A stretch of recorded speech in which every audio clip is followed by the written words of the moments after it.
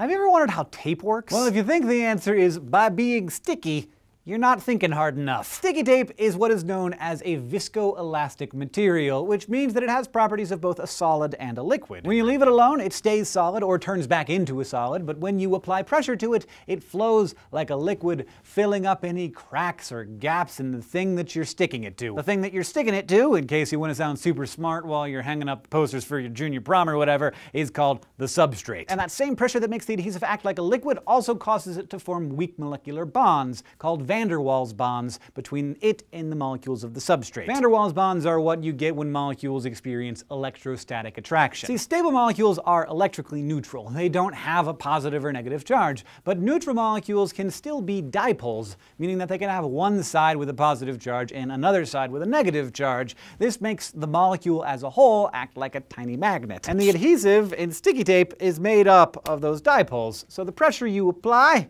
when you stick it to your face forces the molecules of the adhesive and the substrate into close contact which is when all those tiny magnets start sticking together. When you stop applying pressure, the adhesive goes back to behaving like a solid, which locks it into the substrate, gripping it like a piece of a jigsaw puzzle. Of course, when you rip the tape off, you break the van der Waals bonds, and then you can stick the tape to something else, apply pressure, and start the whole process over again, at least until the surface of your tape has too much dust and gunk bound to it to make contact with the substrate anymore. If you have a quick question you'd like us to answer, let us know. You can find us on Facebook and Twitter, and as always, in the comments below, and if you want to keep getting smarter with us here at SciShow, just go to youtube.com slash scishow and subscribe.